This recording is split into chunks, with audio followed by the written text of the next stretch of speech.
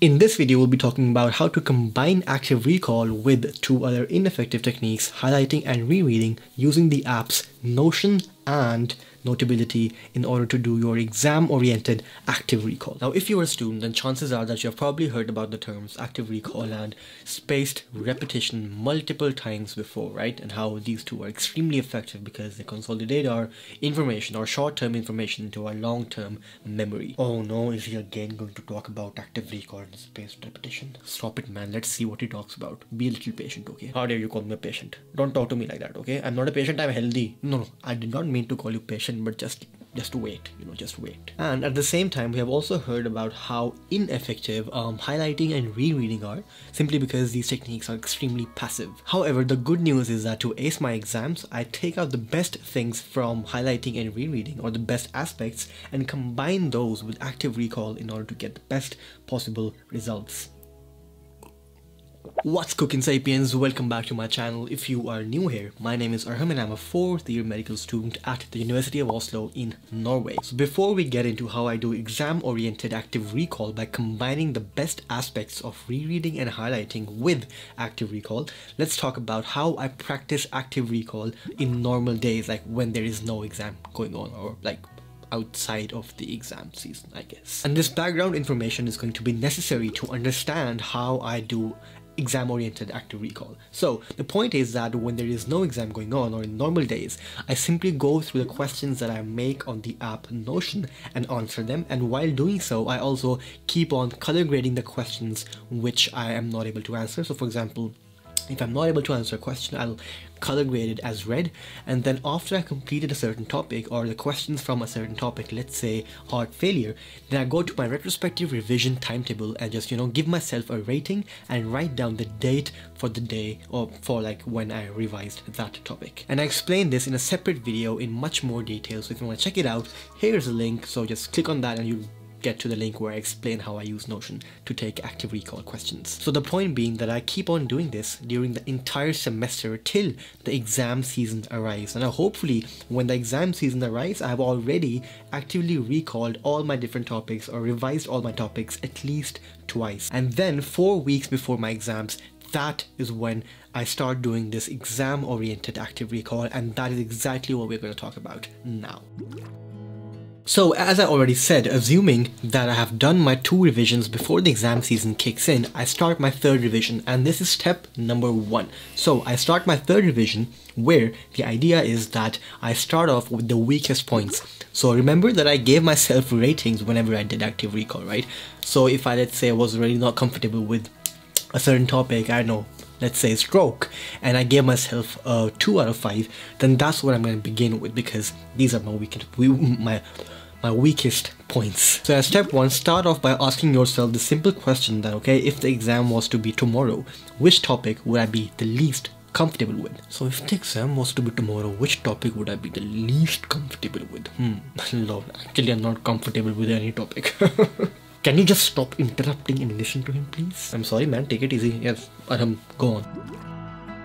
So step number two in this exam-oriented active recall is that when you're doing your third revision, you start noting the things or writing down the things using the app Notability or any other app if you may prefer. So uh, I personally prefer Notability and yeah, that's just me, personal preference. But the point is that you start noting down the things or writing the things which you are not able to answer.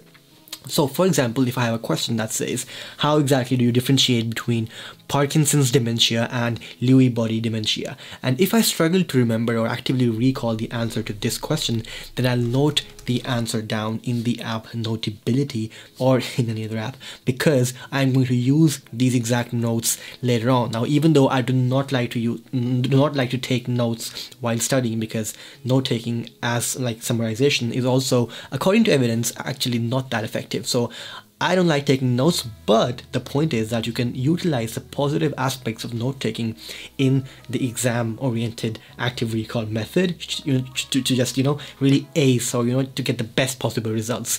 So, yeah, take notes uh, for the things that you were not able to remember while doing your third revision. And as a side note, this is how I organize my notes in Notability. So, I have a divider, let's say, which divides my current semester. So, the fourth module or the fourth year.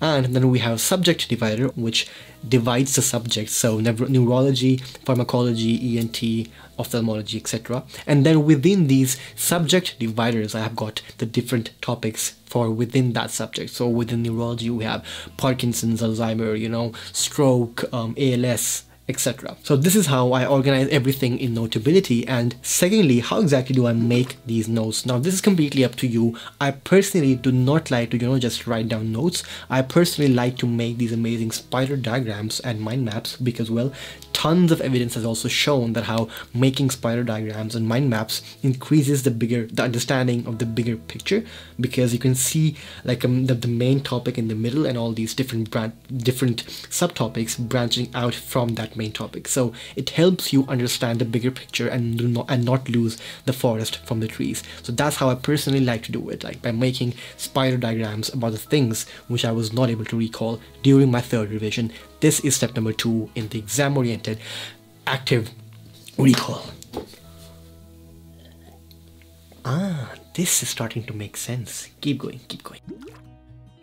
Now let's talk about step number three in exam-oriented active recall and this is where you just simply review your spider diagrams or mind maps or notes, whatever you have made and not worry about active recall. So the idea is that you simply skim through or review and not just go through quickly your notes be them spider diagrams or mind maps and then and stop and do not worry about active recall because we will get back to that in a moment because the idea here is that uh, even though even though rereading is you know passive and not really that efficient but the good point about rereading is that you save a lot of time. So you, you take the notes that you made in the app notability and review them passively just go through them, skim through the notes so that this will refresh your memory and do this for every single topic. And the biggest benefit of doing this is that you firstly refresh the material and then secondly you are able to go through the exam the entire course material or the exam material in a few days like in maximum two or three days if you are efficient and fast enough. Personally I can do this in, a couple of days because I have done this so many times now that I have really gotten used to this habit and it and it goes extremely fast once I get into that, you know, um, what do you call it? Um, flow state. And then again, the point being that you're not completely relying on rereading, which according to evidence is not efficient, but you're combining the combining this with active recall, you know, and just taking the best from both the worlds and putting it together. So once you have revised all the spider diagrams, it is time to go back to active recall, which is step number four. And now you probably do understand what he was saying, right? So just have some patience, man. You always start criticizing him already in the start. Just be patient and listen to him. Okay, okay, you were right. You were right. I was wrong. You win, I lose. Okay? And now comes step number four, which is probably going to be the last step for a lot of you guys, and sometimes for me as well, because step number five is not really mandatory, but an, but an extra step which will help consolidate information even further. So the point being that step number four is that you start doing active recall once again for the entire for all the topics that you have uh, that you have to cover for your exam. And here the idea is that you that before you start looking at the spider diagrams this is important guys. Before you start looking at the spider diagrams, start and actively recall whatever you you know about that particular topic. And do this before even looking at the questions because questions can oftentimes end up giving us a minor hint. So just see so if i'm talking about let's say uh, stroke right so I go to the topic stroke and before I look at the questions, before I look at the spider diagrams, I try and recall everything I know about the topic stroke in order to avoid any hints and any information that could